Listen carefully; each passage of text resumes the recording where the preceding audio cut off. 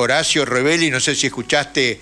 Eh, Escuché perfecto, escuché perfecto. Me encanta toda la canción de la Guerra Civil Española por la República, por la República contra la, contra la tiranía, contra el fascismo. Bien. Por supuesto, siempre. Eh, Horacio, hoy tenemos un rato un poquito más largo.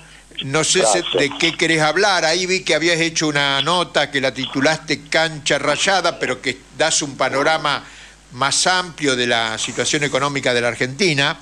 No sé si querés introducir antes de entrar a la, a la devaluación del dólar, que es el golpe que nos dio hoy eh, Massa, yo me salía la reta, porque masa, masa, pero bueno, más o menos son parecidos. Entonces, no sé qué te parece, Horacio, ¿cómo lo querés encarar? te pido si lo puedo encarar por el tema de cancha rayada. Ahí en cancha rayada hubo, cancha rayada fue un desastre, porque después del triunfo de Chacabuco, cuando tenían un gobierno armado, eh, las fuerzas realistas eh, esperaron fuerza de Perú y atacaron con, de noche con propiedad de armamentos y de personal a las fuerzas patriotas y la vencieron estrepitosamente. Fue un desastre. Entonces, los chilenos derrotados querían volverse sobre Mendoza, sobre Mendoza. Y allí un joven, Manuel Rodríguez, pega este grito, no, aún tenemos patria, que había que luchar y que no había que ganar nada por partido y había que pelearla. Y organizó y peleó y peleó en guerrilla él usaba, no iba nunca de enfrentamiento porque sabía que los españoles tenían mucha más fuerza y mejor poder de fuego. Lo fue gastando con, con consecuentes guerrillas hasta esperar que vienen las tropas de San Martín, de Mendoza, y finalmente se produce la batalla de Maipú y el triunfo de la de la coalición patriótica ante la fuerza, lo que se llama India Argentina y lo que se llama India Chile. En ese momento la Capitanía General y la, y la provincia unida del Río de la Plata. Esa esa unión fue la que permitió finalmente el triunfo. Yo digo, bueno, acá estamos en una situación semejante. Pero claro, la unión no la puede dirigir Massa, eso es el. Yo digo, Manuel Rodríguez, alguien que, que defienda el mercado interno, que defienda el trabajo y defienda la producción nacional. ¿Por qué no Massa? Porque lo primero que hace Massa es cumpliendo estrictamente el Fondo Monetario Internacional, devalúa, pero no hace una cualquier devaluación, hace una devaluación muy fuerte, y sistemática, que es una evaluación que ya estaba programada, con devalúa un 22%. O sea, este muchacho, más, porque tiene 50 años, por eso se prepara para, y va a hacer todo lo que el fondo le dice, pues se prepara para ser funcionario más adelante. Tiene 50 años, tiene, vida por adelante. Devaluó un 22% el tipo de cambio oficial. Recordemos que el tipo de cambio oficial ya se venía devaluando. Devaluó con respecto al viernes. El 11 de julio estaba a 276 pesos el dólar oficial, pero estaba a 140 pesos el, hace un año atrás, el 3 de agosto del, del, del 2022. Y estaba a 300 pesos el 13. O sea que pasó de 140 pesos cuando él asumió de, asumió de ministro de Economía a 365 pesos hoy. La hiperinflación que estamos entrando. Uno cuando hace una evaluación de esta característica, recordemos, tres, hace un año atrás, cuando asumió él, 140 pesos y hoy 365 el tipo de cambio oficial, cuando uno hace una mega evaluación de esta característica, es abrir la puerta al infierno. Casi un 250%, ¿no? Un, Exacto. Un 100. 200, 365 ahora y cuando él asumió estaba a 140 pesos. 150% más o menos. Bueno, te das cuenta esta barbaridad.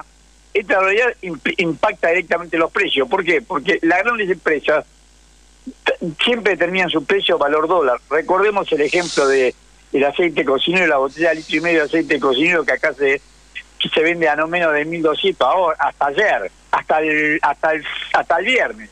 1.200 pesos el, el, litro y medio, ahora va a seguir subiendo. Y bueno, y era porque estaba en euro en Europa estaba a 2,48 euros. Y ellos multiplican el tipo de cambio que quieren ellos, ahora va a ser un tipo de cambio mayor. O sea, la inflación es porque las grandes empresas, el único techo que tienen al fijar los precios es el precio internacional. Si igualan permanentemente el precio que venden acá, el precio internacional. Entonces, prefieren, si no venden ese precio, prefieren vender afuera. Y la devaluación le va a dar mayor poder adquisitivo a los, a los exportadores, a los que tienen dólares en el exterior, a los que jugaron dólares y tienen cuentas en dólares en el exterior. Y va a ser cada vez más imposible pagar la deuda del Fondo Monetario Internacional porque el Estado recauda en pesos. Y al devaluar tiene que juntar, ahora tiene que juntar un 22% más toda la deuda se nos encareció a todo el Estado, hoy un 22%, hoy solo un 22% por la devaluación que hizo Massa. Entonces, nos encontramos en el peor del mundo, una deuda que va a ser cada vez más impagable, porque al devaluar te resulta más es lo mismo que no tuviera una deuda en dólares. Tienen que juntar más pesos para pagar la misma cantidad de dólares. Una deuda cada vez más impagable. Una un reflejo en los precios inmediatos, casi inmediato. Es, es pass que dicen ellos, va a ser casi inmediato, porque las grandes empresas están en condiciones de trasladar el aumento inmediatamente y las otras empresas, los comerciantes, como saben que el proveedor le va a aumentar los precios, ellos por la duda se cuidan y también aumentan su precio final. El que no tiene ningún tipo de aumento es el que tiene pesos, ingresos fijos o semifijos en pesos, los trabajadores, jubilados y pensionados. Y también los todo ese sector que está en peso va a estar muy perjudicado porque hay una nueva transferencia de ingresos, como si faltara a favor de los de los que están posicionados en dólares, ya sea por puga, ya sea porque exportan, ya sea porque son acreedores. Toda esta situación, Massa la va, Massa va a ser el amitador haciendo fiel cumplimiento de lo que el Fondo Monetario Internacional le dice. Lo que el Fondo Monetario Internacional le dice, él lo dijo igualmente, el 3 de agosto del año 2022, cuando asumió como ministro de Economía, dijo que su plan era el plan del Fondo Monetario Internacional. Hasta acá se había hecho un poco el díscolo, y ahora, desde anoche, se disciplinó y va a cumplir a rajatabla lo que el Fondo Monetario Internacional dice. Y eso es la subordinación de toda nuestra soberanía nacional a lo que el fondo quiere que nosotros seamos. Y el fondo lo que quiere al devaluar es que le salgan más baratos los activos, los activos, todos los activos nuestros, los activos como, como vaca muerta, como el litio, como, como la humanidad de raro, y nuestro trabajo, y nuestra producción. Un país, un país bananero, un país colonia. Nosotros tenemos menos productividad, y yo soy nieto boliviano, no tenemos menos productividad que Bolivia, o que Paraguay, o que Uruguay, o que Chile. Sí que Brasil. En teoría económica te dicen que el tipo de cambio refleja la productividad de un país. Bueno, nosotros estamos terriblemente devaluados. Somos más baratos y por eso si ya se venían a comprar acá, ahora van a comprar todo por la mitad. Los que no vamos a poder comprar somos los que estamos acá. Porque ellos cobran en peso uruguayo, en peso chileno, en peso paraguayo, en peso boliviano, y no tengo nada real. Y van a venir a comprar todo acá. Y los comerciantes no están haciendo fortuna, porque no, total, nosotros no consumamos porque ellos tienen para venderle, tienen de sobra, la calidad nuestra es indiscutible en toda la región. Y van a comprar otros productos. ¿A mérito de qué? A mérito de una deuda que no se investigó, porque nosotros estamos hablando de esto de de por qué estamos en esta consecuencia. Y no vemos, no vemos la causa principalísima. La causa principalísima es que no se investigó la deuda.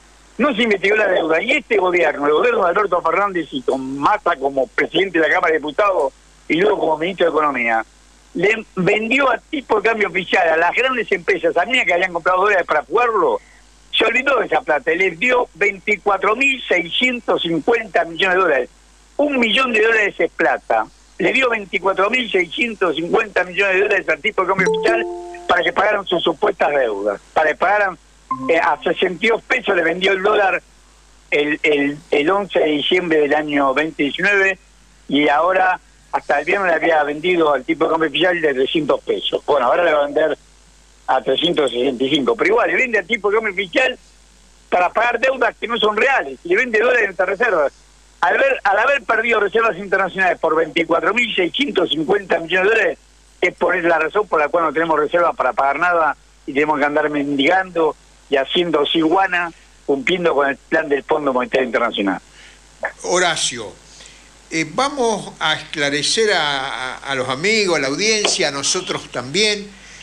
Hay dos elementos, porque vos decís la de eh, la inflación, la causa principaliza principalísima es la deuda eh, que tenemos con el Fondo Monetario Internacional y con los demás acreedores externos. Pero los partidos eh, por el cambio, incluso el de Miley, hablan de que el problema de la inflación es la emisión monetaria y el déficit fiscal. Esto es así como dice, vamos a, apuntar a, ¿cómo se llama esta, esta mujer? Patricia Bullrich y Javier Milei?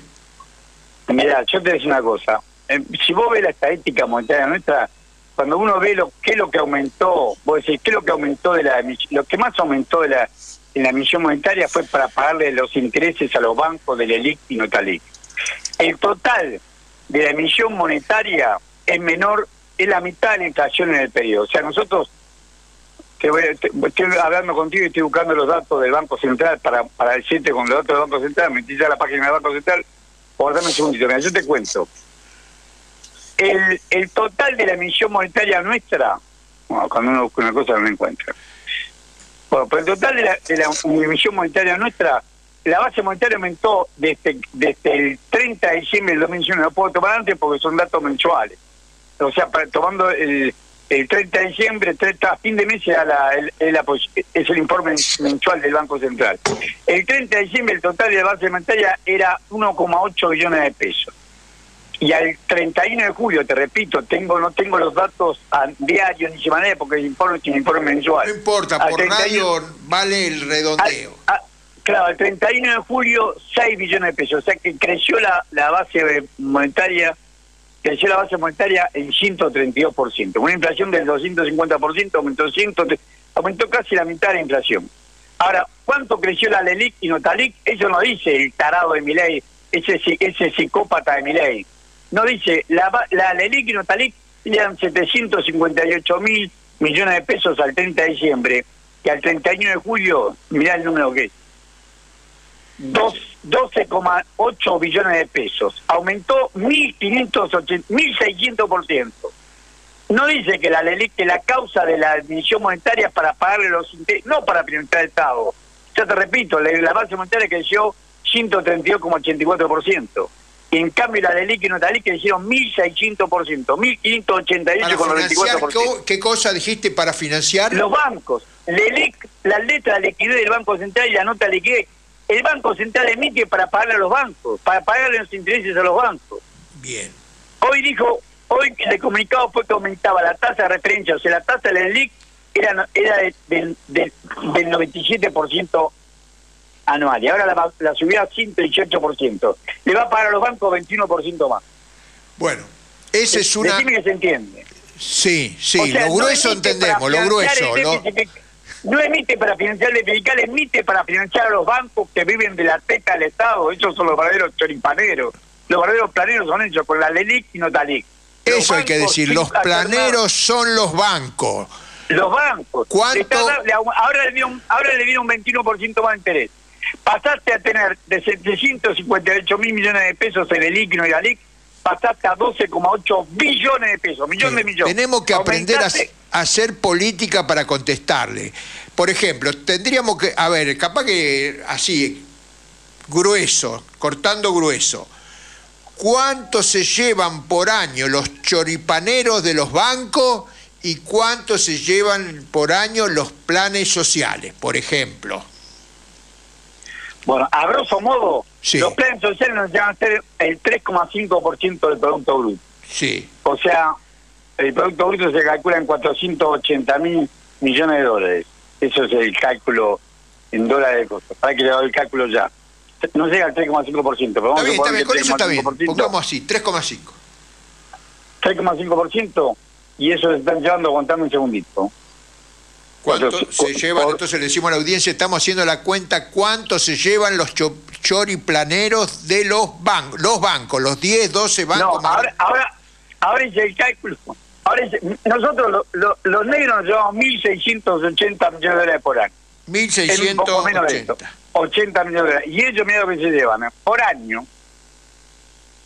Ellos llevan por año, tengo directo por, por 300, contame un segundo y sin temor a equivocarme, ya te digo, acá ganaron una diferencia de 12 billones. Bueno, por eso estamos haciendo la cuenta, a ver... ahora, ahora sí.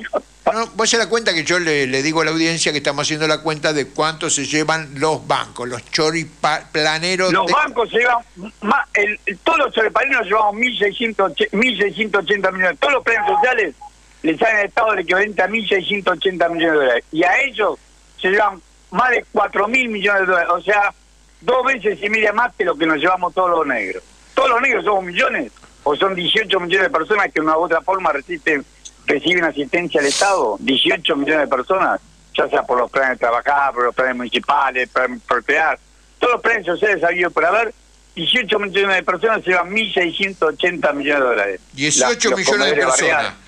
Y... Llevan 1.680 millones. No, quería preguntar, porque en, el discurso de mi ley suele decir que una de las primeras cosas y uno de los grandes elementos, digamos, del déficit de la economía argentina es el tema de los planes sociales. Él habla habla todo el tiempo de que directamente va a eliminar todo, incluso el Ministerio de Desarrollo Social y demás. Pero bueno, me parece que claramente con estos números que estamos viendo queda en claro que, digamos, no es precisamente el sector que, que genera los mayores números de, de, déficit, de pérdida. Pero seguro, los bancos son los grandes parásitos de este, de este sistema que tenemos nosotros. Los grandes beneficiarios han sido los bancos. Sí. Consulta, en porcentaje, dijimos 3,5 del Producto Bruto Interno planes sociales. ¿Los bancos que estaríamos cerca del 10? Y 2, y cerca, un poco menos, 2,5 2,5 veces los planes sociales. O sea, 7, 8, 8 veces. 8 veces, 8% del PBI. Un poco más. Bien. Un poco más, alrededor del 8%. Estoy haciendo cálculo a, mano alzada, tiene que buscarme porque tengo los datos acá delante mío. Tiene que buscarme, estos son los datos. Solo Paneros 3,5% del PBI anual. Y ellos, más del 8% del PBI. O sea que los bancos, los 10 bancos o 12, los 10 bancos más grandes de la Argentina, se llevan dos veces y media más que, que los 18 millones de personas que reciben planes sociales. Es decir, que los choriplaneros son los, los 10 bancos más grandes de la Argentina. Miley, Esper, eh, Bullrich, Larreta, escuchen bien, escuchen bien lo que dice Horacio Robelli. Y eso está diciendo vos, estamos diciendo que los bancos privados se llevan más del 8% del PBI sin hacer nada. O solamente tener la patente de corso de tener eh, bancos captan depósitos del público, sean vueltos y se lo prestan al Banco Central. En LELIC, que son letras de liquidez del Banco Central, o Notalic, y ganan y se llevan dos veces y media más lo que llevan los choripaneros, que son el cuco que muestra mi ley y la derecha recalcitrante que tenemos. Ellos sabemos lo que lo que pretenden. Ahora, lo que es inadmisible es la población que lo votó. Lo que es inadmisible en mi provincia, en Tucumán, Bussi había sacado menos del 4% de los votos. Ricardito Bussi, el hijo del asesino de Domingo Bussi, no entró como diputado, porque no entró como gobernador porque había sacado el menos del 4% de los votos. Y ahora, arrastrado por mi ley, ganó la provincia de Tucumán. Sacaron, ellos solo sacaron más del 27% de los votos en la provincia de Tucumán y fue la fuerza más votada. Tengo otra pregunta que nunca me das bola una vez, pero después no anoté y no me acuerdo bien la cuenta pero ahora que mi ley sacó la mayor cantidad de votos, me parece que vale la pena explicarlo. Vos me decís que es prácticamente imposible la dolarización de la economía argentina. ¿Cuál es este? Y ahora más, porque ahora no tenés reserva libre de disponibilidad. ¿Con qué reserva? Pero explicanos, explicanos a los que no sabemos, explicanos a ver por qué es imposible, eso es lo que queremos saber. Porque vos tenés que tener el total de la base monetaria, que dijimos que es 6 billones de pesos, para lo tener que vivir por las reservas de libre disponibilidad. Y no tenemos reservas de libre y estamos pidiendo plata porque, porque se perdieron la reserva. 6 billones. sí, ¿Y, y, cuánto, es la reserva? 6 billones la base monetaria. Bueno, la bruta son 22 mil millones de dólares, pero la bruta no, no la puede contabilizar porque la bruta son depósitos, el grueso son depósitos de las personas en los bancos. Eh, hay más de 18 mil millones de dólares de depósitos en los bancos, de los cuales 3.700 casi 14.300 de estos 22.000 millones de dólares de libre de referencia bruta son depósitos blancos. Otro 3.000 es un préstamo blanco batería, no se puede usar. Las reservas netas libre de polidad son negativas porque si no, no le hubiera pedido plata a China, le hubiera pedido plata acá, a Qatar para pagar deuda. O sea Hasta que, no venga la plata... No tenemos nada. No tenés reserva... No, mirá el ridículo que es este idiota, este cretino. Y lo pasa es que, claro, nadie le sabe decir nada hoy hoy no podías hacerla. En su momento, hace un año atrás, cuando hablamos, vimos que él podía, todavía tenía reserva internacional, y digo, mirá, le da un tipo de cambio alto, pero tenemos reserva de disponibilidad. No me acuerdo cuánto le daba, pero le daba, ponerle que le daba, claro, hace un año atrás le daba cuatro mil pesos. Sí, algo serían Como, serían como 12 mil de ahora, pero ya tampoco, porque ahora es infinito, porque no tiene con qué vivir, porque la, la, la, la, la, dolarización sería base monetaria de reservas internacionales, y las reservas son negativas. No sé en, en, la escuela nos enseñaban que dividir por cero no se puede. ¿Te acordás en la escuela? Secundaria, no se puede. Si, si tenemos cero dólares, los 6 billones lo dividimos por un número chiquitito, chiquitito, chiquitito, chiquitito, da grande, grande, o sea, infinito, prácticamente infinito. Entonces, eh, no tenemos esa cantidad. Exacto.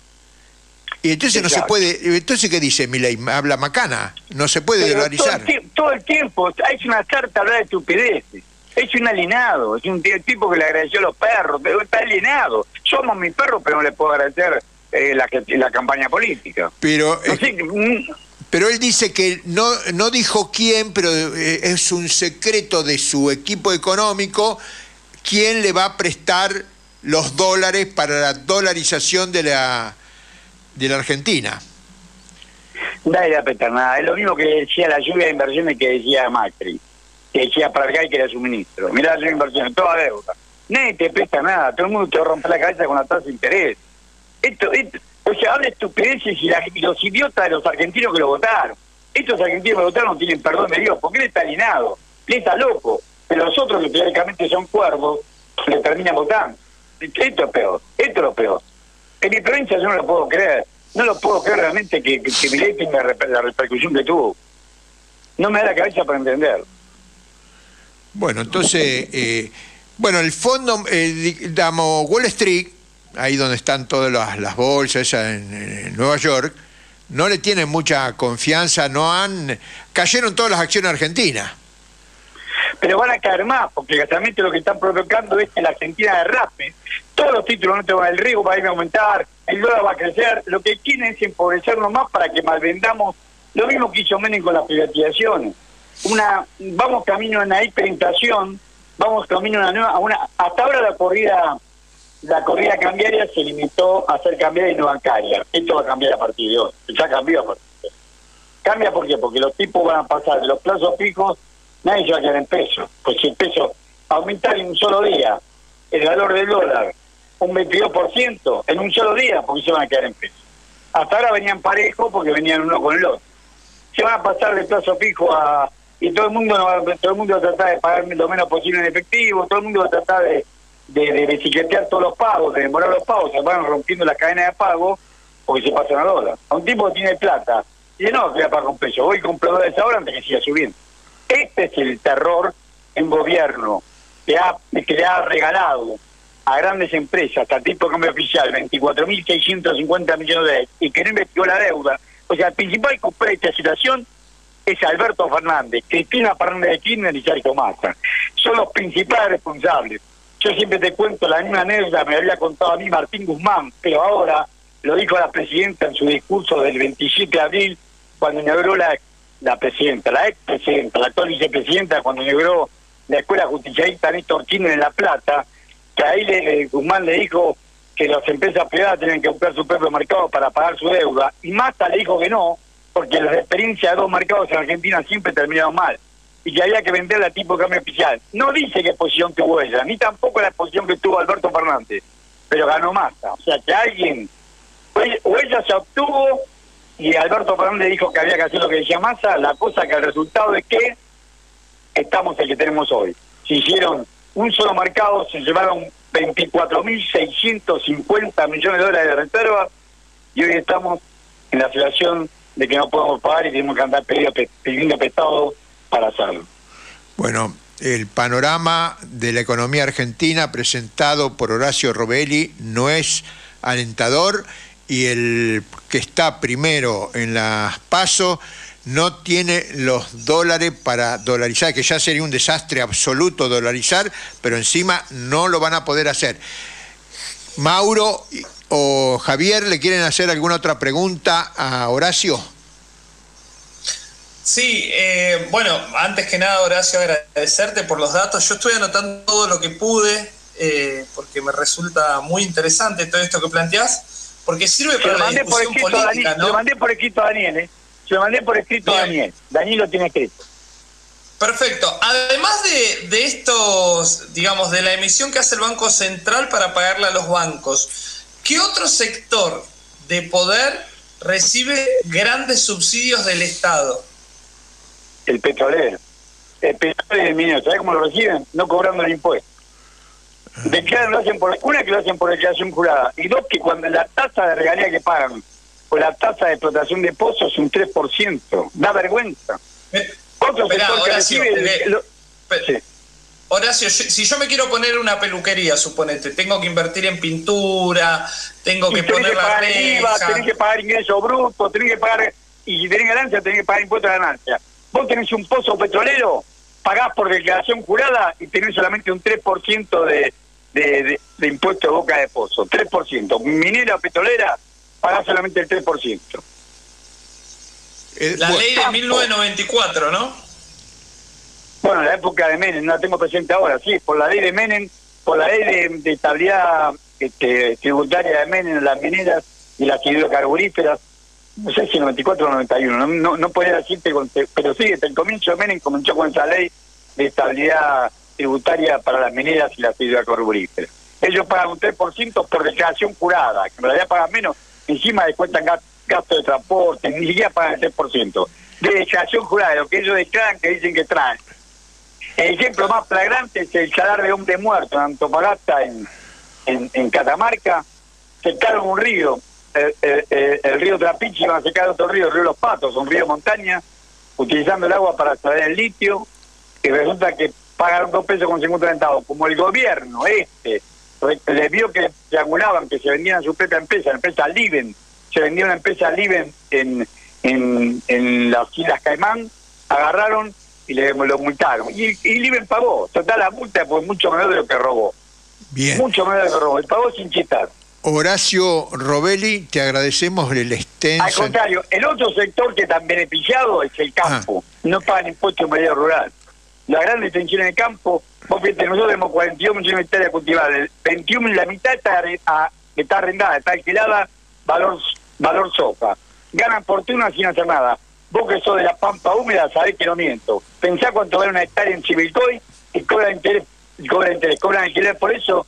Ni viven en la ciudad o viven fuera del país y viven de la renta de la tierra porque algún abuelo, un tío, un quién, matando indios se quedó con la tierra. Bueno, ahí tenemos. Otro que no paga impuestos. En la provincia de Buenos Aires se recauda más por el impuesto inmobiliario urbano que por el impuesto inmobiliario rural. En miseria lo que pagan por año de impuesto inmobiliario rural. Yo quiso cambiar esto apenas llegó, y Volcati, que era el presidente de la sociedad rural, se encadenó, se encadenó a la catedral de, a la catedral de, de, La Plata en, en, en represalia porque Kicillof había querido tratar no de cambiar la moneda, sino de actualizar el valor patrimonial de, de las propiedades. Y ahí se le pasaron de mano. Bueno, ahí eh, Horacio Robelli nos ha indicado claramente contra quién tenemos que luchar si queremos tener un país justo, salarios y trabajo y bienestar para la población. Horacio Robelli, estamos en permanente comunicación, te agradecemos tu participación en todos los fuegos y nos vamos a la tanda de las y media. Sabes que el agradecido soy yo, Saludos a todos ustedes.